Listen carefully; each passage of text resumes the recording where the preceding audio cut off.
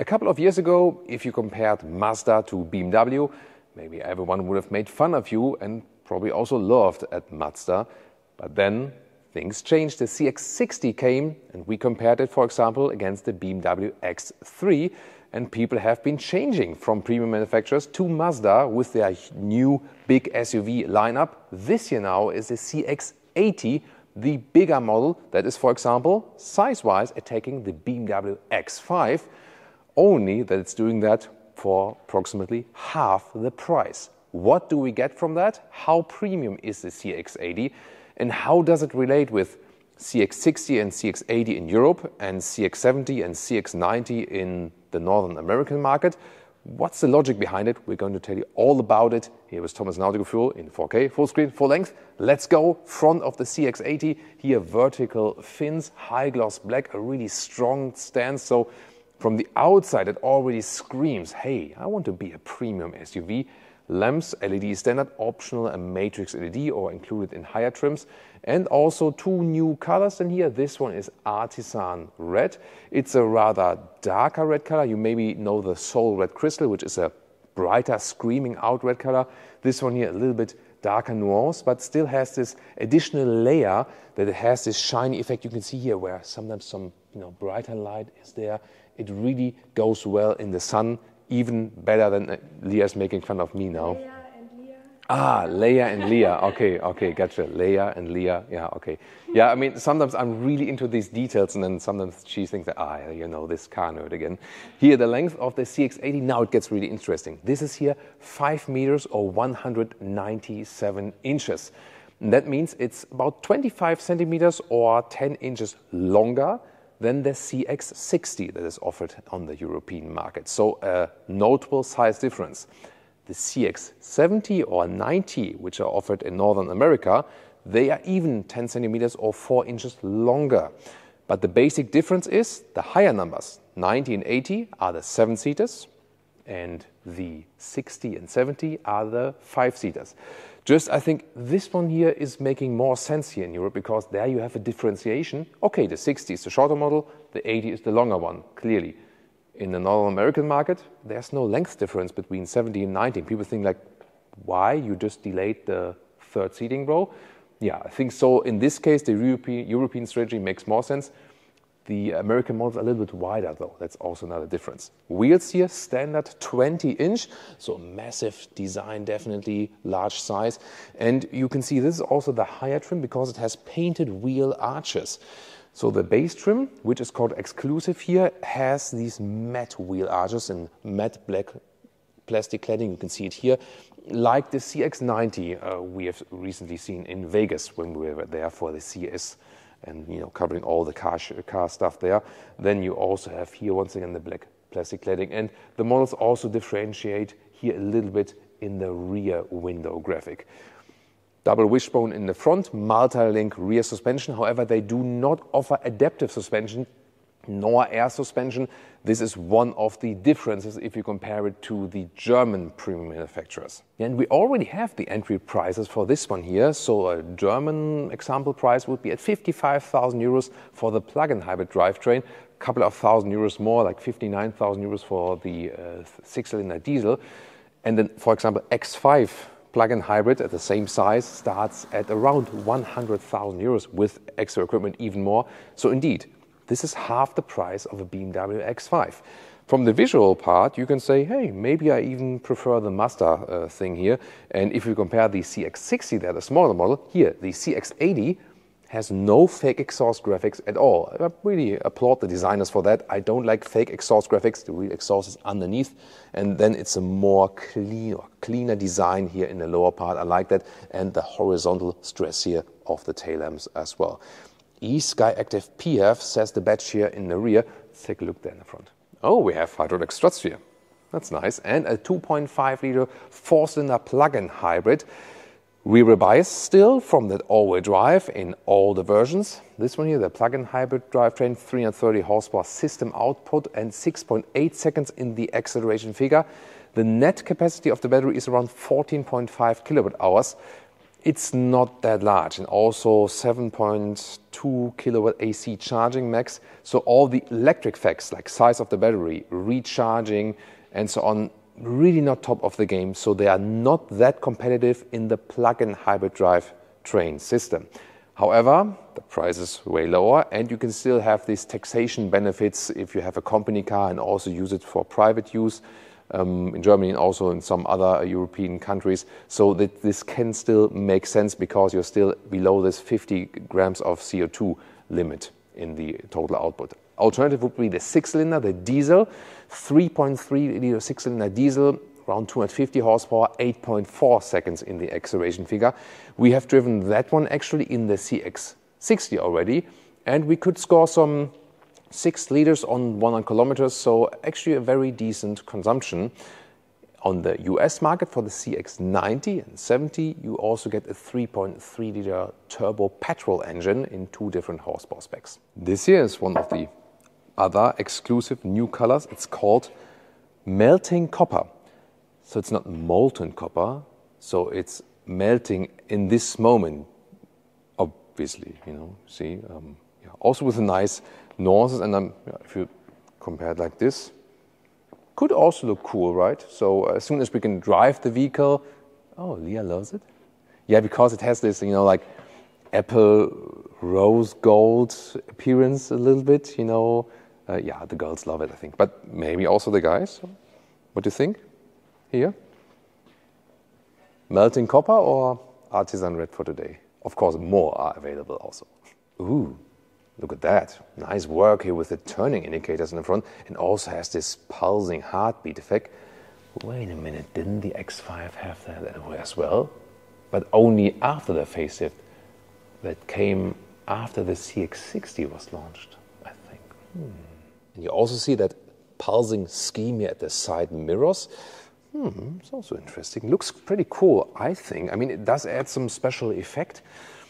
Hmm. But some also say that they actually don't like it and want to have it more straightforward as for the indicator design. What's your take? Uh oh. Well, I think this wouldn't have gone through the BMW design department for this rear turning indicator. I think just a little bit too small. And I mean, when you go a little bit farther away, it's not even, that visible. Here now as a hazard light, but when you just have on one side, I think this trend, um, I think Tesla Model 3 started it really, that it was so tiny. Meanwhile, with the Tesla Model 3 Highland, it's, you know, more visible again. But yeah, these tiny rear indicators, I think also a safety thing, right? The car key itself is not that much premium alike, though, I have to say. Door closing sound. That is actually nice and proper, like that. And then inside of the doors here, it is somewhat soft touch and has a nice structure. This trim also comes with a nice bright decor element in wood, this real wood, and also this fabric here. Yeah, I really like that. However, here the inside door pocket is not covered, you know, from felt from the inside. That's, you know, something you could maybe add. Then this interior here with contour stitches on the inside in white. Real buttons at the steering wheel. That's cool. They also give you a good premium feedback. Here, right side for the cruise control, for example. 12.3 inch digital instruments. 12.3 inch infotainment screen, soon more to that. Also soft touch here on top of the dashboard and some nice fabric applications here.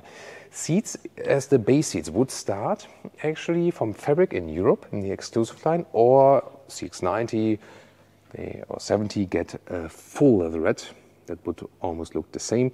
This one, however, optional animal skin because Mazda so far is not offering animal skin alternatives in higher trims. I already talked to the developers about that, and they want to, um, you know, actually, you know, in, improve that situation. They showed it with the MX-30 already, but not yet with the volume models. Then here with 189, 602, some headroom left here above my head. This here optionally equipped with the panoramic roof. You can also open that. The mechanism itself is quite loud actually, and also the opening is not that wide. However, the cool thing to me is that even if you pick a base trim, most of the stuff that is really necessary is always in equipment, and that can easily make you like like a purchase where you say like, hey, I really go for a base trim, and then I think it also makes sense. If you pay some more extras and so on, you're getting closer to a higher premium price. Mm, I'm not sure about that. Here, I think this vehicle makes sense when you go an entry level price and really keep the price low that you can say, hey, I save so much money in comparison to a premium manufacturer and still get large vehicle and also premium features. I mean, look at that here in the interior, just the, the visual part here with the covering right here. And also it is clean, yet at the same time, I have haptic interface. So here the climate unit, for example, I can click that easily. I don't have to finger around in the infotainment system. I can open this one here. It gives a nice smooth feedback here with the adaptive cup holders, for example. You also have a real shifting lever here. Not sure if I'm the biggest fan of that because you know you have to go in this step way for that.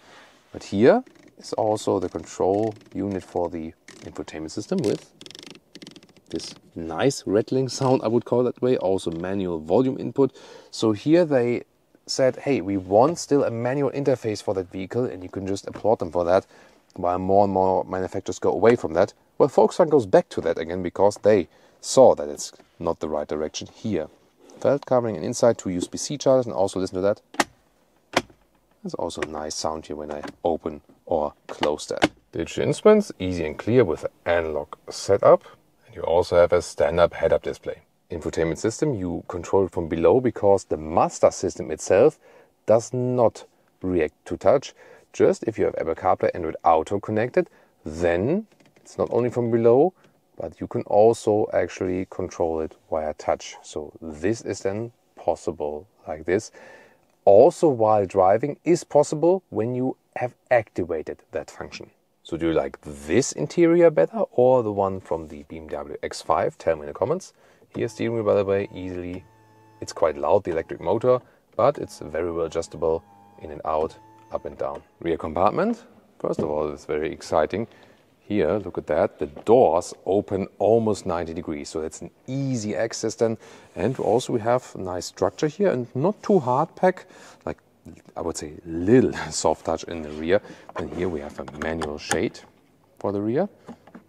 Oh, there we go. And also this wooden inlet in this trim and the nice bright fabric. Door pockets here not covered from the inside. And what about the rear door closing sound? Hmm, that's actually quite decent. So the rear doors sometimes were not that good with Mazda from the sound. Also here the yeah, they also worked on that one actually, because before that, that was sounding sometimes a little bit weird, but that's actually cool. This is here the captain seats set up. So you have basically three choices. This is here captain seats, so two seats in the second row, and this middle console here. Second setup would be without the middle console, that you can go through the middle to the third seating row. And the third setup would be you have a through bench and then go from a six seater to a seven seater. Actually, it's the other way around. The seven seater is the standard. And then you can optionally go for these captain seats here. Um, yeah, but whatever you prefer. You can also adjust here the back part of the seat like this, and you can also slide it forward or backward. And comfort here with the captain seats is good. Headroom in the rear, well, it gets close. Uh, 189, six foot two, really close with the head. This one equipped with a panoramic roof though. The base version exclusive line would not have the panoramic roof. So um, yeah, if that's you know um, if you need it or not. I can also show more from the middle console. Of course, here it does limit you a little bit. It is on you know on the one hand an exclusive trim, but if you use it for the family, maybe not the best solution because the kids love just to enter here and go through the back. I'll soon show you the other access route. And then here, it's like a middle console in the front one also in the rear with nice opening and closing sounds, more space underneath. Adaptive cup holders here, they're actually very nice. And then you have USB-C chargers and a proper rear climate. Oh, with nice clicking sounds. Listen to that. I love that. And also, see when the engine is running, you can have seat cooling and seat heating for the rear. And then there's also, yeah, like not sure if it has a trash bin or something. Um, yeah, for whatever you want to use it. Yeah, actually decent comfort. You sit relatively high, so it's actually good for child seats. Here you have the Isofix also um, at the sides. Well, and then I would say let's access the third seating row because here in the top you can yeah, that's again with the middle console here. Going back and forth, forth is not that easy then. So here we go. Upper lever. That was not sounding so nicely. Let's try that again. That's maybe just in the back position. Ah, yeah, when, when you pull a little bit more up, you know, quicker, then it's actually easy. So there we go. Yeah, I mean, it's somewhat limited when you have a tall driver. And then here, you want to take a look maybe there. So at the moment they're down. I can just manually push them up, up like this. Head restraint as well. And then let's see how much space can I still get there. I mean, I could push the seats a little bit forward though, but you see that the third seating row, pushing that one up, yeah, you already get the picture. When the seats are all the way back, all the way back here, there's no chance. Headroom wise is actually quite okay. That that works. And yeah, you see here also for my you know for my angle from the legs. Let's see how far I can push that one back. So that would work actually for my knees. But then you see there's hardly any space in the front. So I wouldn't say it's tall L proof in the rear. Um, yeah, but I mean, for the situations like, hey, you know, short trip or something, there's no ISOFIX here at the third seating row though, so no additional child seats. I think that would be this this use case for the children are old enough or big enough not to need, you know, like the real large child seats anymore. But then again, they're not as tall as me, so something in between. That would be the use case here. Well, and since you guys ask, when Leah is sitting in the rear seat, yes, she has a little bit more leg room because she's not as tall as me. She's not small at all, but still a more realistic value maybe from her than from me. You know what this means when you are a subscriber of our channel. It's to fight of the trunk capacity. 690 up to 1,900, 690 up to 1,970 liter and that is even a little bit rounded because I don't want to go into like one or two liter figures. It's just too uh, too messed up. Then let's see. Ah, yeah, we can push it up a little bit further. If you, by the way, want to secure a certain position, you just hold this closing button. Beep beep beep. There we go, and then it saves the position. For example, if you have a basement garage that's like ending here, you can leave it in that position. Yeah, but that it doesn't, you know, touch the the roof, uh, like the, the, the, ceiling of the basement garage from the inside. But then again, you have to be aware that you can scratch your head then as well. This is then here, third seating row. The CX60 does not have that.